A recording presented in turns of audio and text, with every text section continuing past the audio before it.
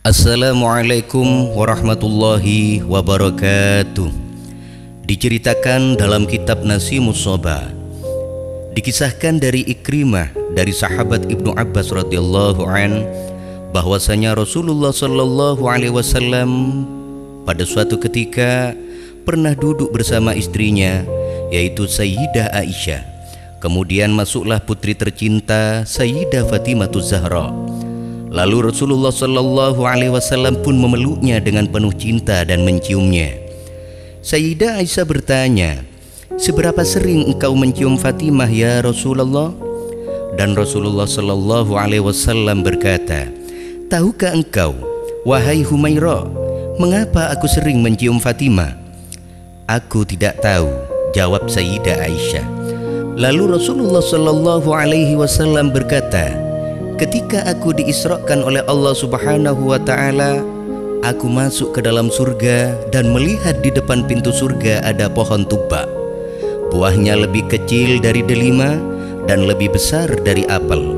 Rasanya lebih manis dari madu, warnanya lebih putih dari susu dan bentuknya lebih lembut dari keju. Lalu malaikat Jibril memberikan satu buah itu kepadaku.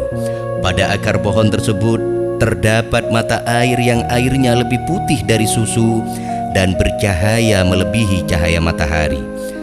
Lalu malaikat Jibril memberikan kepadaku minuman dari mata air itu dan aku pun meminumnya. Ketika turun ke bumi, aku bergairah untuk tidur bersama istriku Sayyidah Khadijah. Dari hubungan itu, Sayyidah Khadijah mengandung anak tercintaku yaitu Fatimah Zahra. Dialah bidadari berbentuk manusia. Tubuhnya tidak mengeluarkan darah haid Yang biasa keluar dari tubuh wanita. Sayyidah Fatimah tercipta bukan dari saripati tanah dunia. Apabila aku merindukan wangi harum surga Maka aku akan mencium putriku Fatimah. Cerita ini disarikan dari kitab Syawarikul Anwar Karya Abuya As-Sayyid Alwi Al-Maliki Al-Hasani dan juga disebutkan dalam kitab Al-Ghuror halaman 287 sampai 288. Terima kasih, semoga bermanfaat. Wassalamualaikum warahmatullahi wabarakatuh.